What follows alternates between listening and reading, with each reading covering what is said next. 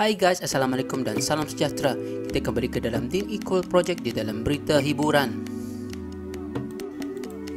Black dikecam terima bantuan. Penyanyi Black Hanifah terus menjadi mangsa pembulian cyber apabila gambarnya memegang sekotak barangan bantuan telah disalah erti oleh sesetengah pihak. Semuanya gara-gara satu posting di Facebook yang mendakwa Ahli Dewan Undangan Negeri Adun Kota Anggrek Najwan Halimi tampil menghulurkan bantuan kepada Black di hadapan rumahnya.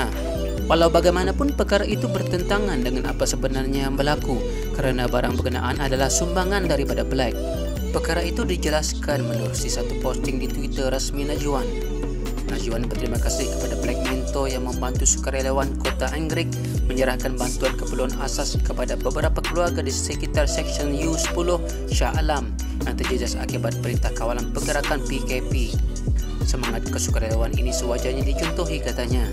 Sementara itu rata-rata netizen meminta supaya orang ramai tidak terus mengecam penyanyi berkenaan. Kebanyakan mereka menganggap posting berkenaan sebagai satu fitnah dan boleh menjatuhkan aib seseorang. Terdahulu Black menjadi mangsa kecaman netizen apabila menyuarakan pendapat supaya golongan selebriti turut dibantu Walau bagaimanapun Black akhirnya tampil membuat permohonan maaf secara terbuka selepas kenyataannya itu mencetuskan ketegangan umum. Jangan lupa like, comment dan subscribe guys and stay at home. Bye guys.